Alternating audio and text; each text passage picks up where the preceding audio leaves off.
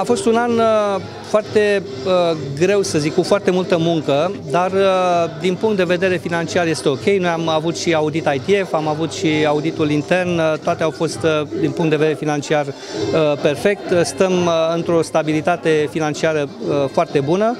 Uh, anul ăsta chiar uh, se și vede, uh, avem, am avut o, un sfârșit de an destul de important, așa, cu activități care au marcat și mar încearcă să marcheze activitatea noastră de 30 de ani.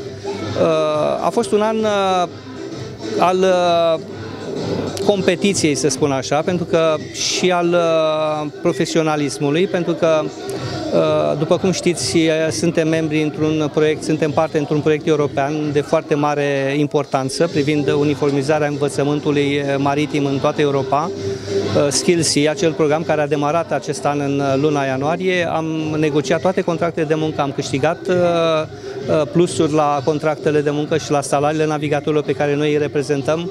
Am implementat și am modificat toate contractele de muncă cu privire la ultimele clauze care trebuie să intre și drepturile lor care trebuie să fie în parte din uh, contractul de muncă. Uh, am uh, purtat negocieri cu, și discuții cu companii și cu alte companii pentru a prelua navigatori români.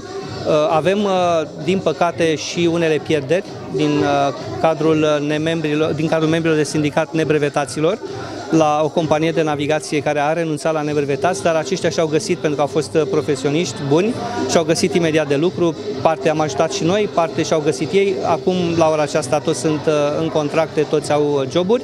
Ce realizări aveți în acesta? Uh, realizările, uh, ce să spun, Cred că sumele de bani recuperate pentru navigatori sunt foarte importante, peste un milion jumătate de dolari. Uh, din care jumătate de milion pentru navigatorii români, ceea ce nu înseamnă puțin lucru. Uh, am uh, reușit să propunem niște acte normative pe care sperăm să le avem gata în 2020, ne chinuim cu ele tot anul 2019. Vă spuneam că am avut foarte multe întâlniri cu autoritățile de stat, cu Ministerul Transportului, Ministerul Sănătății, Ministerul Muncii. Vrem să definitivăm înțelegerea aceea pentru uh, navigatorii care lucrează pe nave sub pavilion norvegian. Am uh, fost parte în, uh, în grupul de lucru pentru pavilionul românesc. Sperăm să avem și un pavilion românesc care să fie mai atractiv pentru, pentru aceste nave care se vor înregistra în România. Ați și contribuit aici, la salvarea unor marinari. Uh, sigur, uh, am, asta este clar, că, că sunt cazurile noastre de zi cu zi. Uh, sunt navigatori care au fost practic abandonați, navigatori care, au fost, care nu, nu aveau repatriere la timp și erau abandonați pe nave.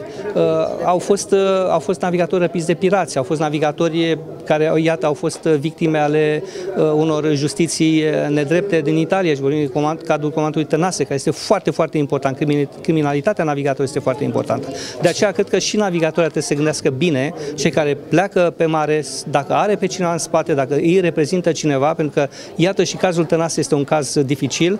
Dacă nu a fost membru de sindicat, nu am putut să îi asigurăm un avocat care să îi ofere libertatea foarte repede și uh, omul acesta s-a chinuit foarte, foarte mult uh, timp de un an și jumătate până când uh, în încercarea noastră, așa, fără a interveni cu fonduri, să îl reprezentăm cât mai bine acolo și să se întâmple ceea ce s-a întâmplat acum. Iar recomandarea dumneavoastră către navigatorii din uh, România este să... Uh, este să, este să facă parte din, din familia ITF. Este, este uh, un lucru extrem de important și până la urmă extrem de benefic pentru ei. Trebuie să fie parte din familia ITF, că ea înseamnă Sindicatul Liber al Navigatorilor, că înseamnă oricare alt sindicat de pe navele unde lucrează pentru contractele colective de muncă pe care le semnează alte sindicate și acolo ar trebui să ducă să facă membri, nu contează, dar trebuie să facă parte din familia ITF, indiferent la ce sindicat ITF este afiliat. Câți navigatori mai are România la această oră?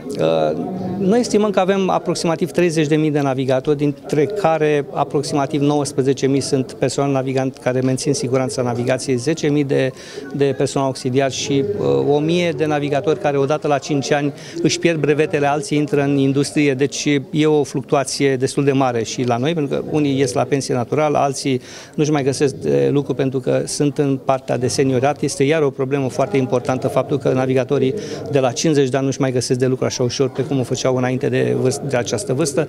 Lucrurile astea sunt lucruri pe care noi le discutăm tot timpul. Iată, avem parteneriate la nivelul Uniunii Europene, discutăm despre uh, sistemul integrat european și de hub-ul european care ar trebui să dezvolte și noi le susținem. Suntem în negocieri cu armatorii europeni.